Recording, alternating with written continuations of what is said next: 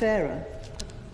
My Lords, uh, my Lords, is the noble Baroness, the Minister, uh, satisfied that the individuals chosen to assess the nature and significance of the disability in disab- disabled individuals uh, are properly qualified and trained in order to carry out such assessments, and in doing so, do they employ well defined and reproducible, reproducible criteria?